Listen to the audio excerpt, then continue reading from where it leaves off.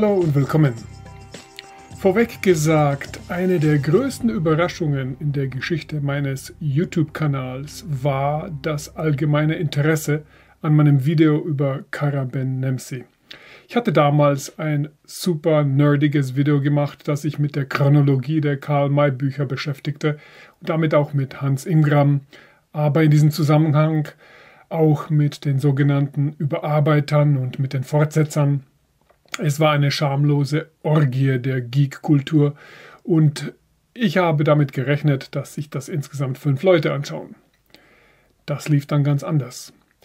Die Frage, die ich mir stelle, lautet somit, ob ich es schaffen kann, ein Video zu machen, das noch geekiger und noch schräger ist, sozusagen die ultimative Geek-Mythologie. Denn hat man erstmal die besagten Erzählungen und Kurzgeschichten in einer fixen Chronologie untergebracht, stellt sich zugleich die Frage nach sogenannten Handlungslücken. In dieser geradezu verrückten Episode möchte ich also erneut auf die zehn Orientreisen eingehen, aber diesmal unter dem Gesichtspunkt der verbleibenden Handlungslücken und der damit verbundenen Frage, welche Art von Prosa sich eignen würde, diese Lücken, diese letzten Lücken zu schließen. Wie großartig wäre es, wenn sich dazu eine Arbeitsgruppe bilden würde, die es dann als eine Art Mission ansieht, im Verlauf der kommenden Jahre die fehlenden Stories zu erschaffen oder eine Crowdify-Sache daraus zu machen. Keine Ahnung. Aber eins sollte klar sein: zu schreiben, wie Karl May seinen Stil zu emulieren, ist in Wirklichkeit viel schwerer, als man vielleicht denkt. Erstmal nur ganz kurz zur Klärung. In der Karl-May-Forschung sind die Überarbeiter und Fortsetzer feste Begriffe und nicht wegzudenken. Karl May hat sozusagen seine eigenen Diadochen und Epigonen. Erstens muss klar sein, dass das Material nach Karl Mays Ableben starker Modifikation unterworfen wurde.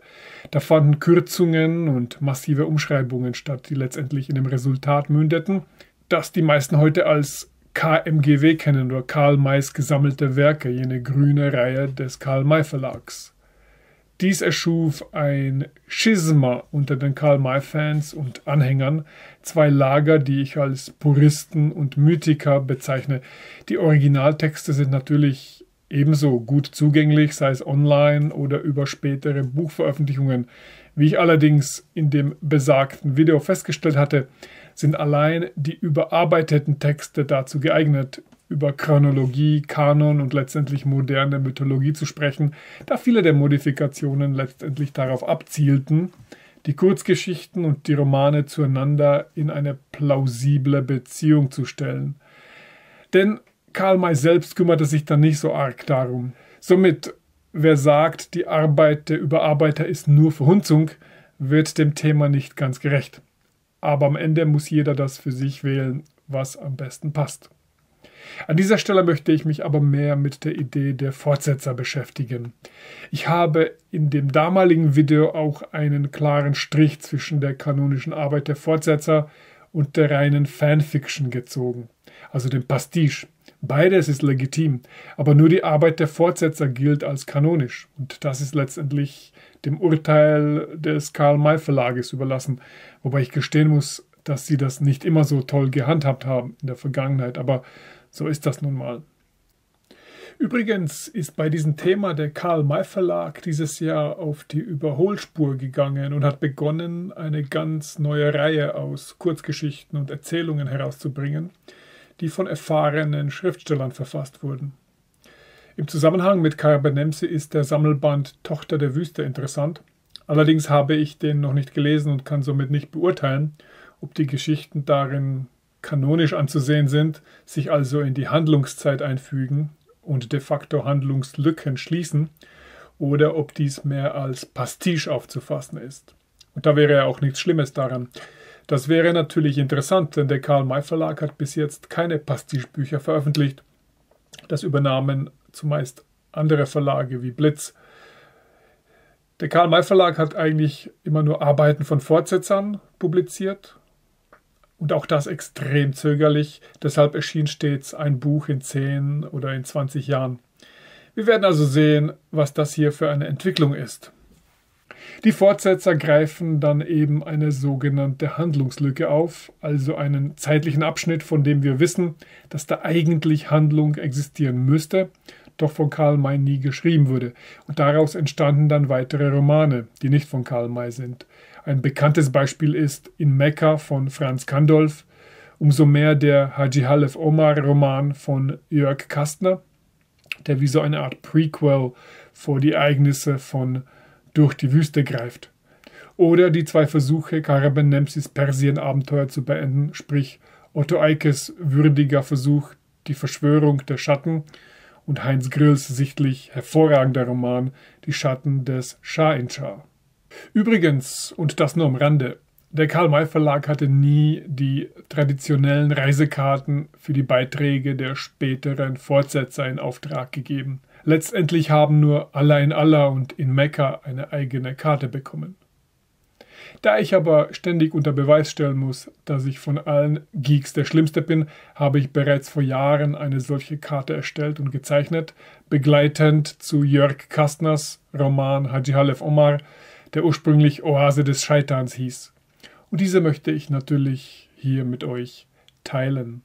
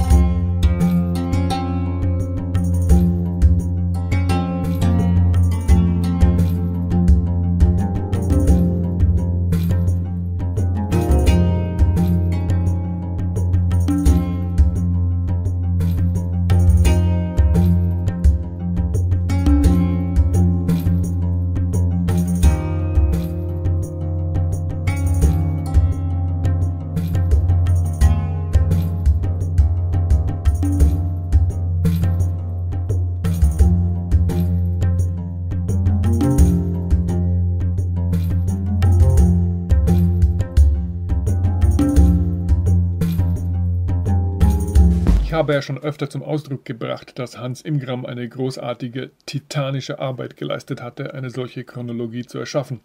Ich glaube, der einzige Kritikpunkt, den ich hier empfinde, und das ist noch nicht einmal eine rationale Kritik, sondern eben nur eine Empfindung, ist, dass er eben mit diesen Tagebucheinträgen, die von ihm stammen, die Handlungslücken zu schließen gedachte, doch damit weiteren kanonischen Fortsetzern einen Riegel vorschob, zumindest falls wir die Imgram-Chronologie als endgültig ansehen, was wir an dieser Stelle keineswegs tun müssen. Denn seine hinzugefügten Tagebucheinträge überbrücken und kitten die noch vorhandenen Handlungslücken eben mit relativ unaufgeregten Reiseereignissen. Diese sind mehr kulturhistorische Feststellungen, doch freilich keine echten Abenteuer. Ich möchte an dieser Stelle diesen Kit und diesen Gips etwas aufbrechen und uns das Potenzial für die allerletzten kanonischen Fortsetzungen noch einmal ansehen. Mir hätte es sicher gefallen, wenn Ingram auf einige der eigenen Tagebucheinträge verzichtet hätte und lieber eine Anmerkung dort hinterließ, dass einige Seiten des Tagebuchs zum Beispiel fehlen oder nicht erhalten sind, zumindest bis die Lücke kanonisch geschlossen wurde und somit ein Update des Tagebuchs vorgenommen werden könnte. Die vorhandenen Handlungslücken haben sichtlich unterschiedliche Dimensionen. Manche sind nur kleine Reiseabschnitte, kaum mehr als zwei oder drei Tage lang. Doch die relevanten Handlungslücken decken auch schon mal einen oder zwei Monate Zeit ab oder gar mehr und nicht selten über 1000 Kilometer Wegstrecke. Somit ließen sich, um etwas Struktur in die Sache reinzubringen, diese Handlungslücken in drei Kategorien einteilen, je nach dem potenziellen Werkformat. Manche Handlungslücken zahlen mehr auf das Format einer Kurzgeschichte ein, das wäre also dann Kategorie 1, und eine Kurzgeschichte würde in diesem Zusammenhang zwischen 3 Seiten und 25 Seiten lang sein. Die Kategorie 2 wären dann Erzählungen, also Texte, die deutlich länger sind als Kurzgeschichten, aber noch nicht das Volumen von Romanen haben, also zwischen 25 und 100 Seiten lang sind. Und schließlich die Königsklasse, Kategorie 3, die Romane, somit zwischen 100 und 300 Seiten lang. Doch genug der Theorie, kommen wir zur Sache. Und beginnen natürlich wieder bei der ersten Orientreise. Die erste Orientreise fand in den Jahren 1861 bis 1862 statt. Auf die Details werde ich hier nicht eingehen, denn damit beschäftigte sich hinreichend die vorherige Episode. Die Erzählung zu dieser Reise lautet Die Gumm und ist in dem Sammelband KMGW Nummer 10 Sand des Verderbens zu finden. Interessant ist hier, dass dies allein auf der Karte eine beachtliche Reise in die Tiefen der Sahara ist, weit südlich des Hogar-Massivs und weit jenseits der heutigen Grenzen von Algerien. Der Höhepunkt der Geschichte spielt sich tief in einem Gebiet, das heute zu Niger gehört, in einer Festung namens El Kasr. Nun ist es allerdings so, dass hier dann alles geklärt wird und Emery Bothwell und Karl May bleiben natürlich siegreich und das ist eigentlich das Ende der Geschichte. Doch wir befinden uns immer noch im Herzen der Sahara, an einem Punkt, der von all den Reisezielen Karl Mays eigentlich einer der abgelegensten ist. Hans Ingram musste hier in seiner Chronik eines Weltläufers gar nicht so viel fabulieren, denn in diesem Falle übernahm Karl May selbst den etwas abgekürzten Abschluss der Geschichte. Er schreibt in wenigen Absätzen, dass die Reisenden zwei Wochen gebraucht haben, um die Serir, also die Steinwüste der Zentralsahara, zu überqueren und dass sie unversehrt in der Oase Gat eintrafen. Das ist in der Tat ein realer Ort, der sich allerdings im südwestlichen Libyen befindet. Wir sind also weit davon entfernt, an einem Punkt angekommen zu sein, den man als das Ende der Reise bezeichnen könnte. Karl May braucht nochmal vier Wochen, bis er in Algier eintrifft, bei der Familie Lautremont. Das sind aber allein per Luftlinie gut 2000 Kilometer unwegsamen Geländes. Allein das beschwerliche Gebiet zwischen dem relativ fiktiven El Kasr und der Oase Gad, die übrigens als die Hauptstadt der Tuareg angesehen wird, bietet sich für spannende Abenteuer an. So passiert die Wegstrecke auch das Dadrart-Plateau, eine faszinierende Felsregion mit urzeitlichen Felsmalereien aus einer Zeit, als die Sahara noch grün war. Ebenso die Strecke von Ghat nach Touggourt, der ersten richtigen Stadt während dieser Rückreise, also über 1000 Kilometer entlang der verwaschenen Grenze zwischen Algerien und Libyen. Dies ist also in Wirklichkeit eine Handlungslücke, die viel größer ist als angenommen und Potenzial für ein Romanvolumen besitzt oder zumindest eine umfangreiche Erzählung. Es müsste aber auch eine Geschichte sein, deren Erzähler noch nicht ganz so grandios auftritt. Dies ist immer noch Karl Mays erste Begegnung mit der Sahara. An diesem Punkt in der Geschichte heißt er noch gar nicht Karabenemsi. Als Abenteurer steht er noch ein wenig im Schatten seines Gefährten Emery Bothwell, aber nicht mehr lange. Karl May alias Old Shatterhand besitzt an dieser Stelle bereits den Henry-Stutzen und den Bärentöter. Das hält sogar Karl Mays ursprünglicher Text so fest. Und May erhielt den Henry-Stutzen ja am Anfang von Winnetou II. Das platziert Hans Ingram unmittelbar vor diese erste Orientreise. Die Gumm ist ein seltsames Konstrukt, denn die ursprüngliche Kurzgeschichte besaß zwei unterschiedliche Versionen, die allesamt sehr kurz waren, nur ein paar Seiten lang und sich mit dem heute wenig reizvollen Thema der Löwenjagd beschäftigten. Karl May hatte diese kurzen Essays für Zeitschriften geschrieben. Die heutige Geschichte, so wie sie im Sand des Verderbens vorkommt, entspricht überwiegend Karl Mays eigenem Remix dieses Materials, das er seinerzeit unter dem Titel Unter Würgern publizierte. Das war dann lang genug, um auch als eine eigenständige Erzählung zu gelten. Hierzu brachte May eben Emery Bothwell ins Spiel und erfand die ganze Entführungsgeschichte um die Familie Lautremont, aber wie gesagt, er beendete die Erzählung an dem Punkt der Reise, der Algier am entferntesten ist, sozusagen das Apogeum. Hier ließe sich also noch einiges machen. Denn der Reiseweg von El Kasr im Herzen des heutigen Niger bis hin nach Algier an der Mittelmeerküste ist immens lang und beschwerlich, um einfach so ignoriert zu werden. Bevor wir zu der zweiten Orientreise kommen, möchte ich noch einen kleinen Abstecher ausloten. Hierbei möchte ich mich dem Band 11 der KMGW zuwenden mit dem äußerst atmosphärischen Titel Am stillen Ozean. Dieser Sammelband beinhaltet allesamt Erzählungen aus dem Osten. Das Buch mutet etwas irreführend an, da es den Eindruck erweckt, als spielte es sich vorrangig in der Südsee ab. Doch das trifft nur auf die ersten beiden Geschichten zu. Danach verlagert sich die Handlung stetig in den chinesischen Kulturraum und von dort nach Indien und teilweise Zentralasien. Das fällt also unter die sogenannte erste Ostasienreise und die Russlandreise, die von Hans Imgram zeitlich in die Jahre 1862 und 63 eingeordnet werden.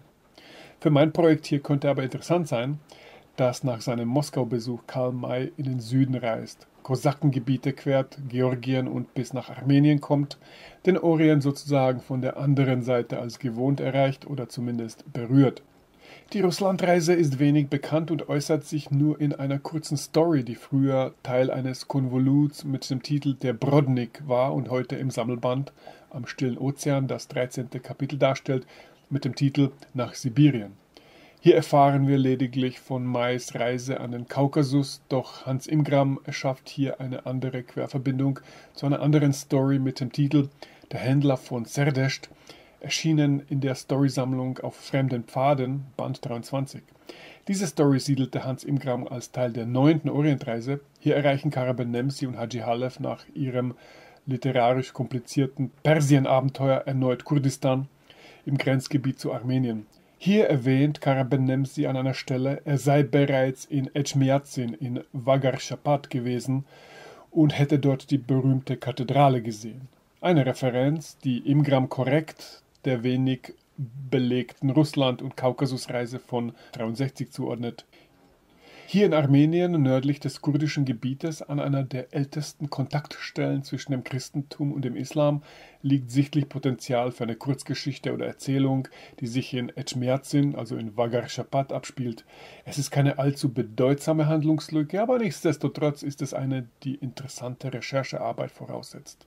Die Handlungslücke, falls man dies als eine solche einstufen möchte, würde vermutlich gut zu einer längeren Kurzgeschichte passen oder einer kürzeren Erzählung.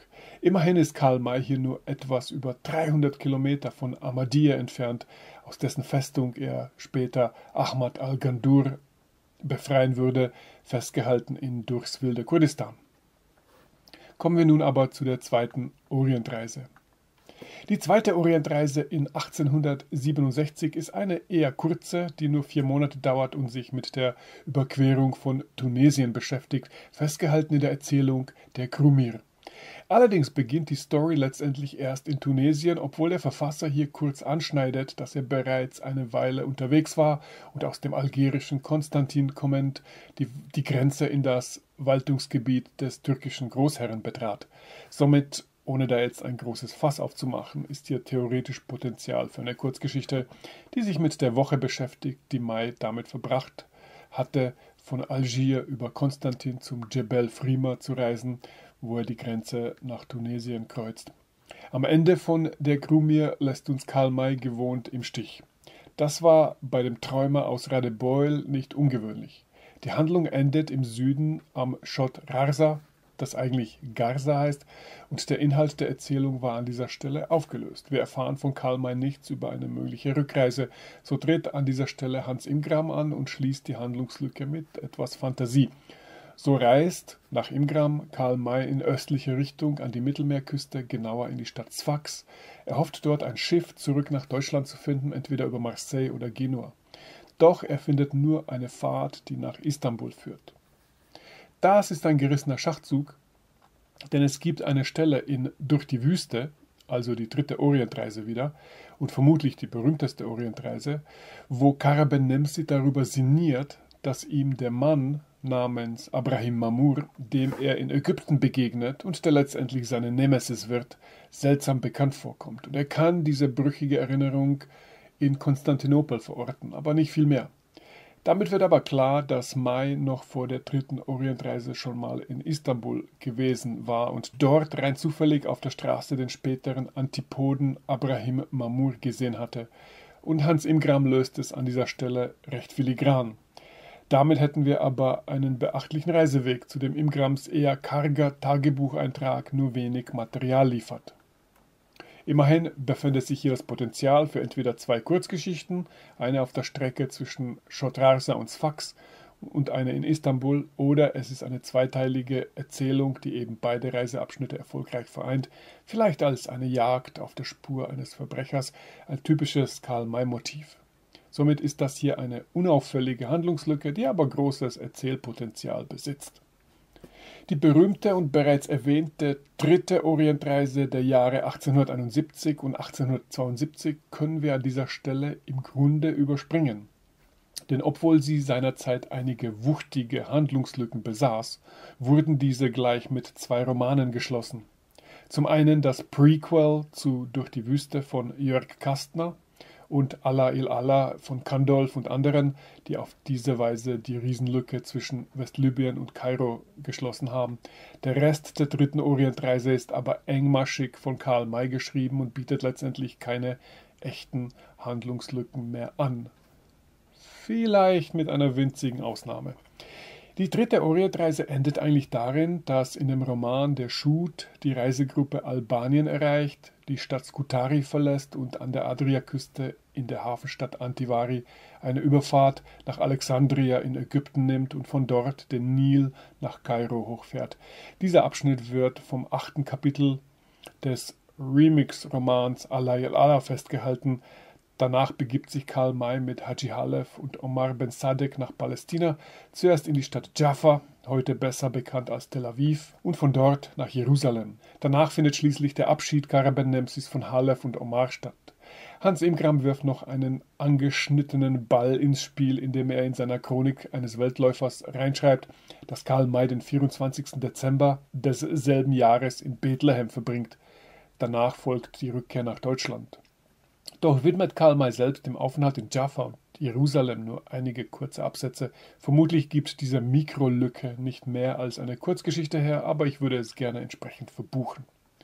Die vierte Orientreise ist die kürzeste und umfasst nur einige Wochen des Jahres 1873. Karaben Nemsi folgt der Einladung seines Freundes Kapitän Turnerstick, mit ihm Tunesien zu bereisen, zumal dieser ein Schiff zur Verfügung hat und auch dorthin muss festgehalten im Band 10 Sand des Verderbens in der Geschichte Christus und Mohammed.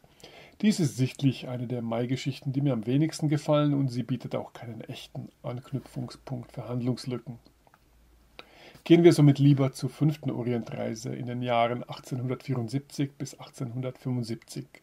Eine komplizierte Handlungszeit, die ausschließlich aus kurzen Erzählungen und Kurzgeschichten geflickt ist. Das macht es aber auch irgendwie spannend, zumindest wenn man ein Nerd ist. Diese Reise schließt nahtlos an Karl Mays Fernostreise, von der er gerade zurückkam, festgehalten in dem extrem eklektischen Sammelband am Stillen Ozean.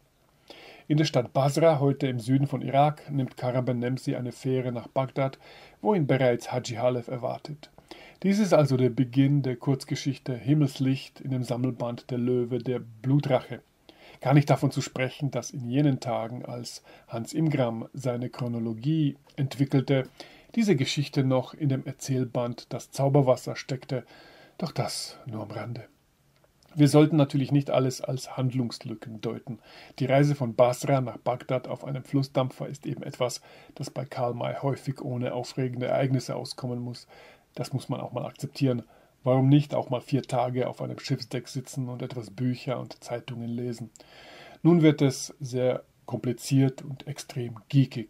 Also, chronologisch gibt es an dieser Stelle die Erzählung das Himmelslicht und die berühmten acht Kapitel im dritten Band der Mahdi-Trilogie zu verbinden, namentlich im Sudan.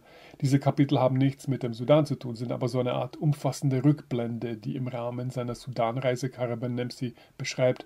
Aber es sind acht Kapitel, die sich im Kurdistan abspielen und die Hans Imgram in dieser fünften Orientreise identifiziert. Das Himmelslicht spielt sich hingegen in der Gegend von Tikrit, also eine ganze Ecke weiter südlich. Hans Imgram bringt an dieser Stelle Persien ins Spiel und dazu gibt es einen Grund. Er beschreibt zuerst, dass Kara Benemsi nach dem Abenteuer in das Himmelslicht zwei Monate bei den Hadidin verbrachte. In jener Zeit ist noch immer Ahmad al-Gandur der Sheikh der Hadidin.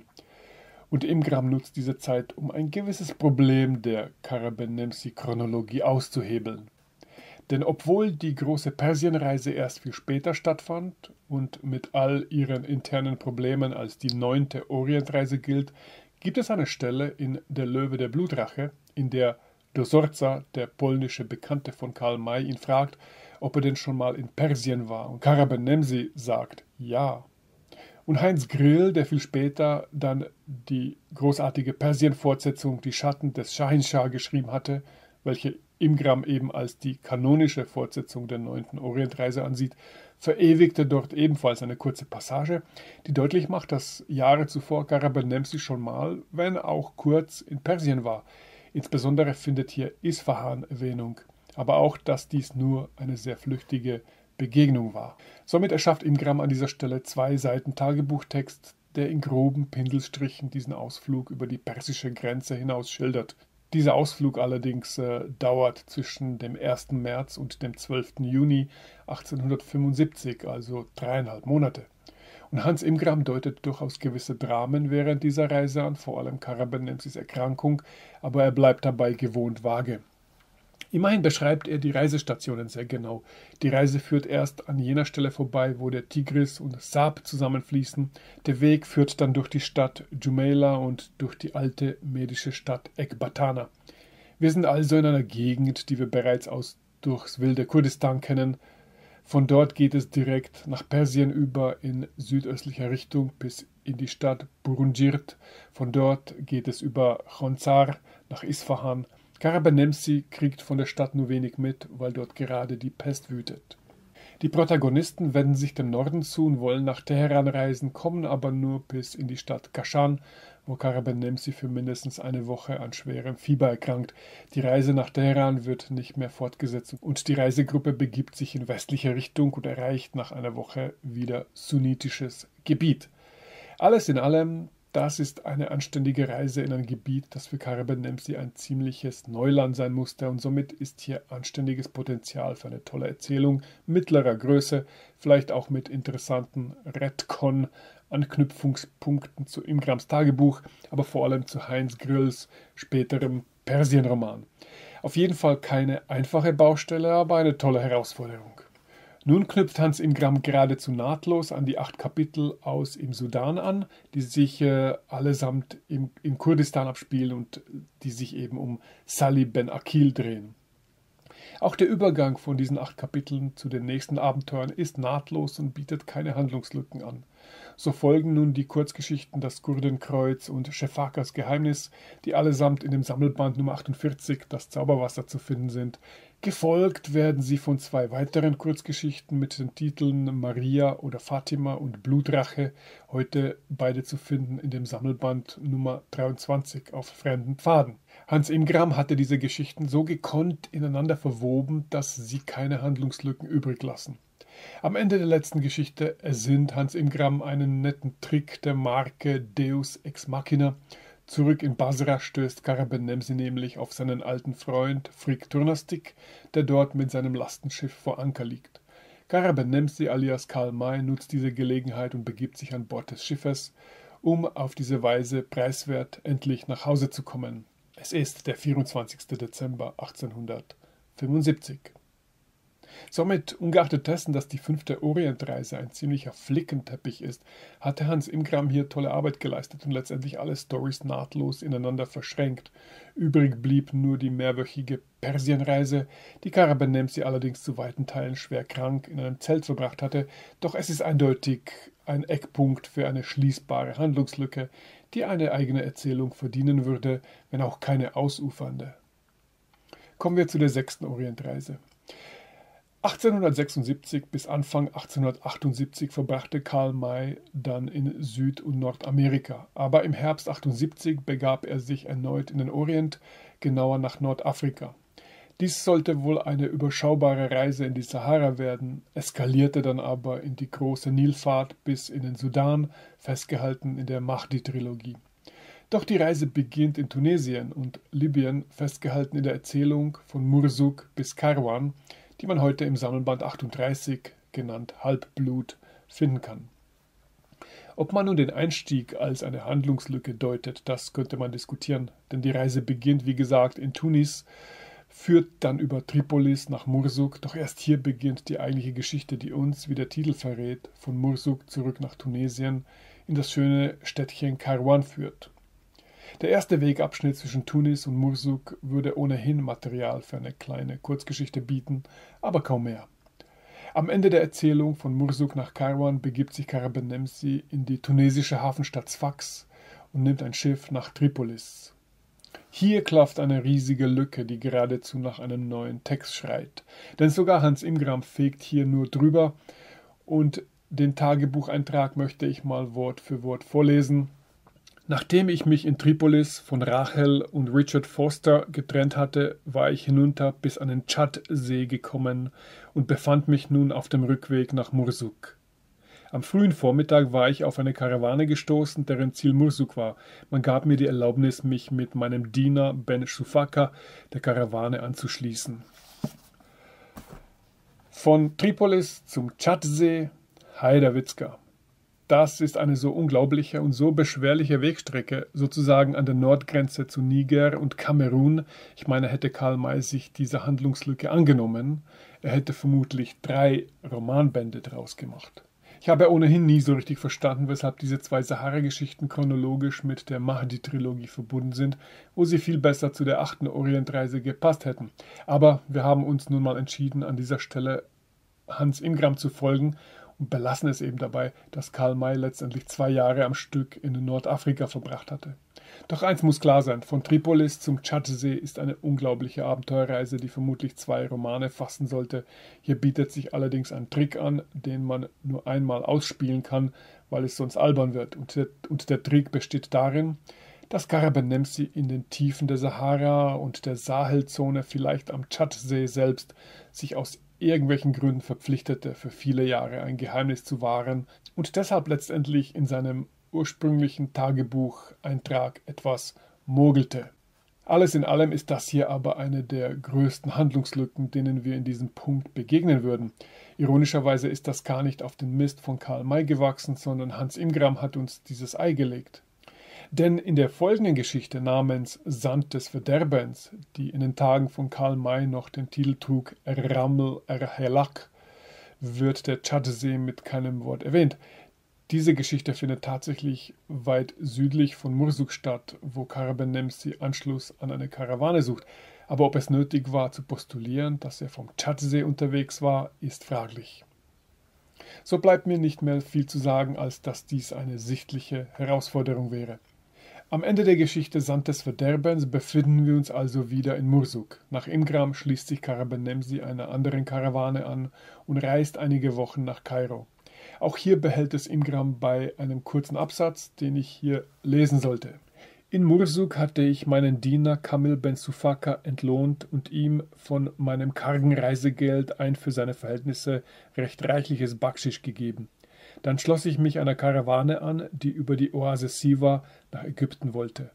Dort waren wir über den Birhalde im Gebiet der Uled Ali bis vor die Tore Kairos gelangt, wo wir bald ankommen sollten. Ironischerweise reichte bei der berühmten dritten Orientreise eine Handlungslücke von dieser Größe vollkommen aus, um einen ganzen Roman zu konstruieren namens Allah el Allah. Hier sollte es also zumindest eine anständige Erzählung sein an dieser Stelle. Hier beginnt dann der riesige und sichtlich wasserdichte Zyklus im Lande des Mahdi.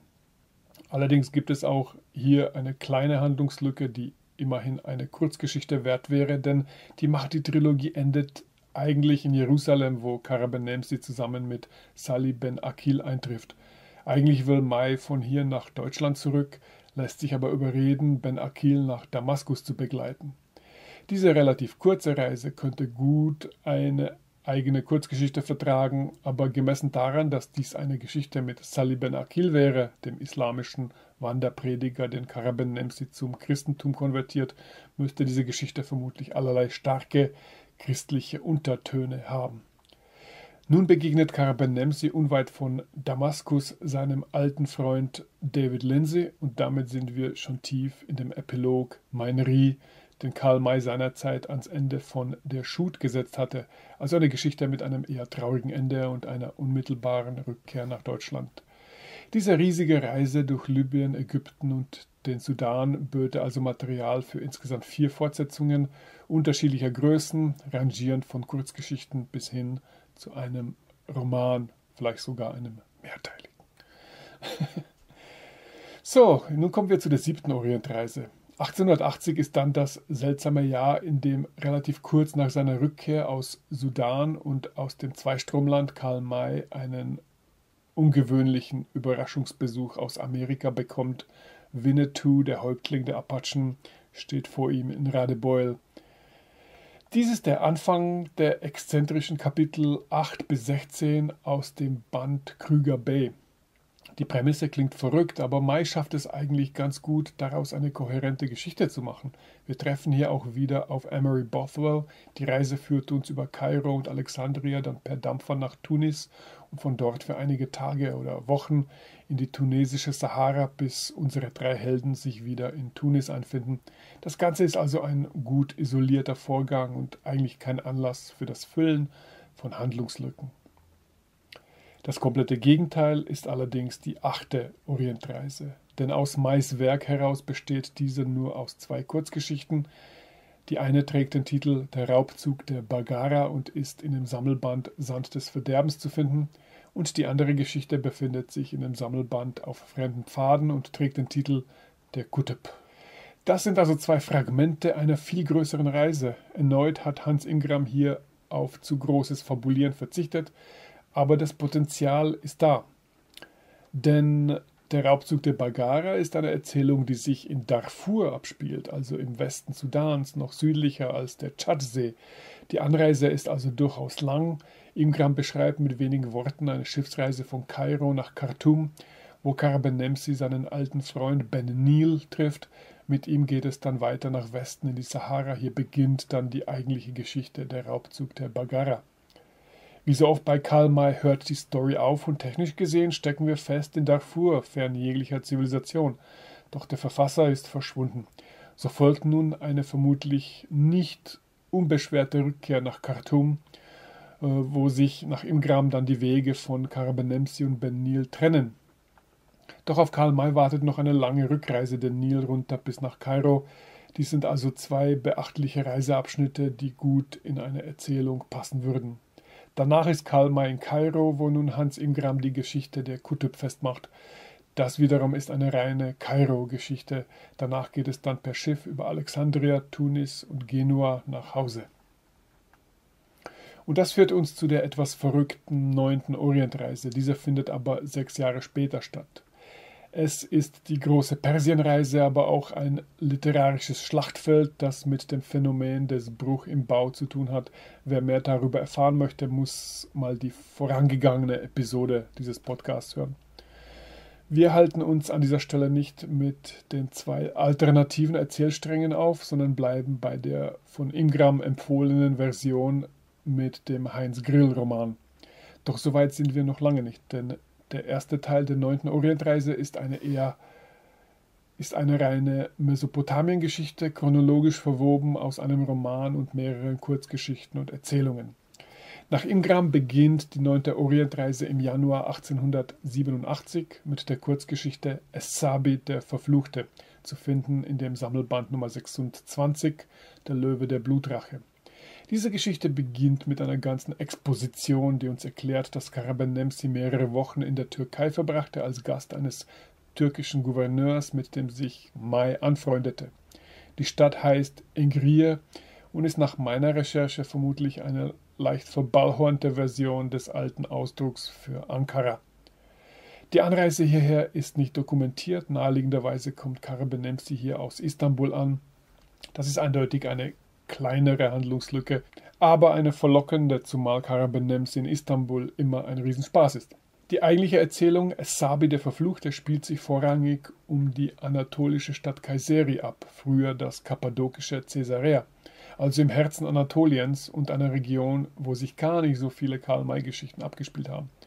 Garbenemsi bricht nach einigen Tagen auf und reist weiter südlich in das ihm gut vertraute Zweistromland, wo sich am Jebel Kanuke zurzeit die Hadedin aufhalten sollen. Die Quellenlage ist hier etwas mühsam, weil die Bücher, auf die sich Hans Ingram bezog, inzwischen etwas umsortiert wurden, aber wir probieren es trotzdem. Ingram beschreibt die Reise aus Anatolien zu den Hadedin mit diesem Text. Freitag, 4. März 1887. Ich war noch zwei Tage in Kaiseria geblieben, dann aber wollte ich weiter. Mein Ritt führte mich nun direkt ostwärts. Von meinem ursprünglich vorgesehenen Weg über Adana wich ich ab, weil sich dorthin die Ströme der Mekka-Pilger wendeten. Nach gut einer Woche war ich heute am größten Ostbogen des oberen Euphrat angekommen und konnte an einer seichten Furt gut übersetzen.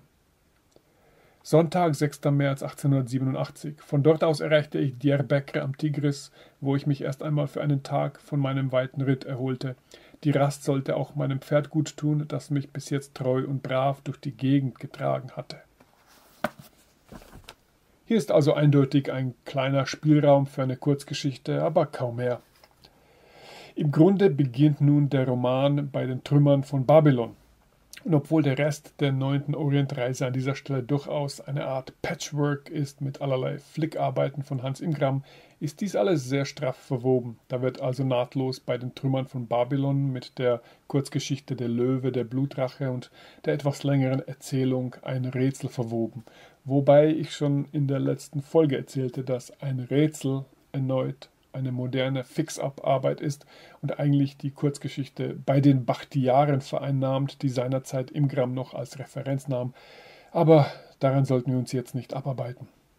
Alles in allem ist sogar der Übergang zu Im Reiche des Silbernen Löwen und von dort zu Heinz Grills Die Schatten des Shahinshah recht makellos und eine kurzweilige Lektüre, die keine Fragen aufwirft und somit auch keine Handlungslücken.